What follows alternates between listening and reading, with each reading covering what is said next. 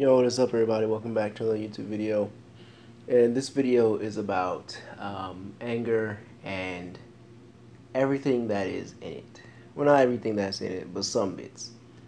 So, um, to get started, I know some of y'all have some some things y'all like to keep hidden, some things you guys like to keep tucked away, and some things that nobody, no, none of us like to bring up to the light or talk about and I wanted to make this YouTube video partially, mostly without my face, so you can just see a black screen, and one, have to like just stare at the black screen and be like, why is there a black screen here? But two, also that black screen will give you some, since you're not distracted by my face and my facial features, you will have some time to actually just see a black screen and think about it, if you feel like thinking about it. But anyway, this is just a little something to help y'all out. So sometimes when we um, experience things and we go throughout life, we get to parts in our life that are very harmful. The experience turns out to be harmful, or what we do or have intended to do that we may have meant for good turns out to be harmful. And so we sometimes blame ourselves for it.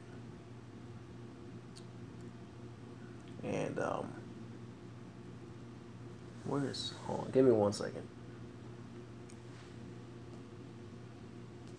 All right, I'm back.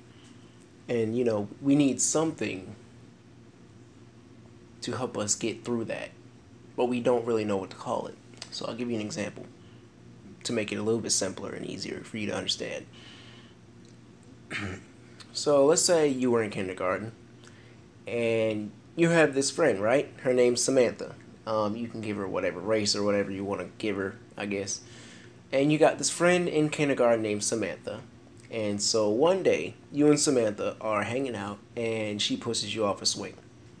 And you fall on the ground. You know how hard gravel is, or them wood chips? Yeah, them little bastards. Yeah, you land on some wood chips. And you know, you get some splinters from wood chips. And so after you get the splinters in the wood chips, you go home crying and you're telling your mom and you're angry and you're upset. You're like, Mom, Samantha pushed me off the swing today. Little whoop. she pushed me off the swing and it hurt, Mom. And, you know, you're talking to your mom and she's like, well, okay. Um, blah, blah, blah. Your mom helps you. You know, you take out all the splinters, you rest it up, bandage it, and you go to sleep that night. So you go to school the next day and you just mad at Samantha you you you so mad at Samantha, you just wanna you, you wanna choke her out at the lunch table. You know, you wanna throw an apple at her head. you wanna throw an apple at her head, throw something at her head, because you just pissed off at Samantha. You just like, mm, I wanna kill this girl.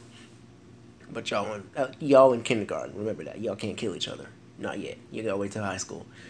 And so you get to high school and you still don't like Samantha. You guys have had classes all throughout middle school elementary school. What was it? Is it called like Head Start? There you go. After, you know, before kindergarten, I think it's Head Start. So you guys have all, had all classes and stuff together. But really, when you think about it, were you really mad that Samantha pushed you off the swing? Or that Samantha was your friend and she pushed you off the string? Or could you be missing the point entirely? What if Samantha was trying to get you off the swing so she could get on, but she didn't know you were there? But then why would it be pushing? I'm asking these questions kind of to get you all to under to kind of think a little bit because I'll give you an example. Um, this is not me personally. Okay, so my friend and his friends went out one day, and um, this is like a really distant friend because I stopped talking to this friend like a while ago long time ago. And so him and his friends they went out, um, you know, drinking and whatever. But there was this one this one friend that hadn't, you know, ever drunken in a long time or ever drunken at all. And so, you know, they're all college students. So, you know how they you know, college students are, you know, they like to party and stuff. And this one friend, she she just she lost it. She you know, she lost it all in the car. She she threw it up in the, in the car in the street. But, you know, since they're college or the school had a strict, um, you know, ban on alcohol and whatever, they couldn't exactly call the campus police or the anybody to help for that matter. So if they called, you know, emergency services, they're like, "We're gonna get in trouble. We're gonna we're gonna get kicked out of school." I'm like, well, you're right. You got that there. You're definitely gonna get kicked out of school for that. Oh boy, just you wait. And so what they decide, what one of the friends, dude, he got really really mad because we should he was like we shouldn't have brought her out here. We shouldn't have done this. We shouldn't have done that. We should have said no more drinks. We should have said we should have said all these things to keep this girl from doing what she did. And he started yelling and cussing at all these his other friends. And he was just like he lost. He just went off on all his friends and one of his friends the other female was really upset and she ended up crying and crying and crying for for um I want to say hours. Yeah, I think I think it was hours what he told me. She was crying for like hours or something like that. But what that one friend actually was feeling was that he was helpless because he couldn't make the situation better with what he had been the cards he had been dealt with at the time. So sometimes when we get angry about things, we either feel like we have been um, have been served an injustice or we have been treated wrong and we don't know how to word it because of we're afraid that whatever we say or we'll try to say will be um, misunderstood and completely just um, blown out of proportion. Or what we do or will say won't have any effect on the situation. It won't make the situation any better.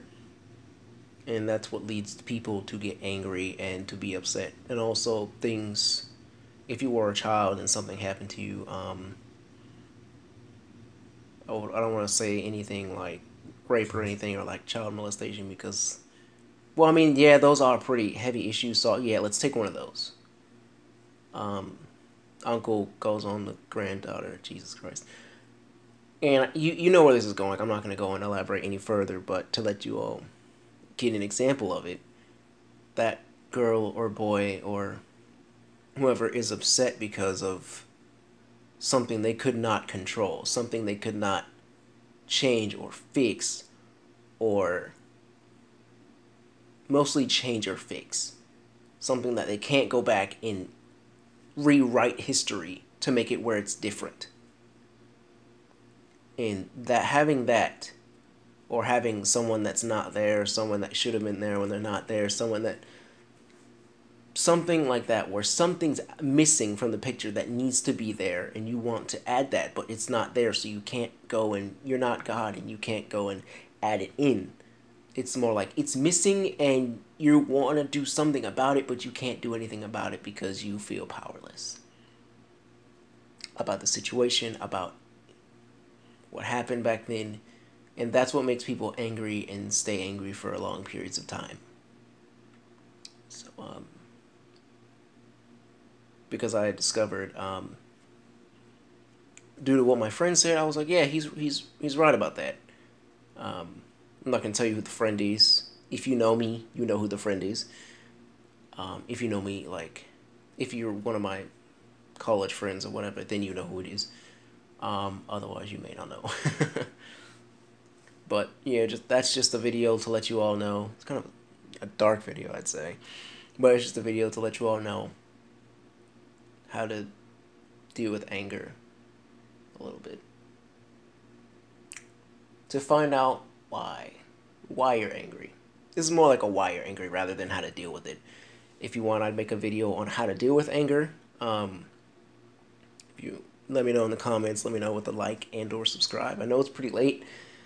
Um, it's probably about like what 10 a.m., 11 a.m. in Japan. But other than that, it's like 10 a.m. anywhere else, unless you're Canada. But anyway, thank you all for watching. If you all have a nice night and a good night, what? anyway, thank you all for watching and listening. If you like the video, give a like and a subscribe. And I'll see you all in the next episode. Peace.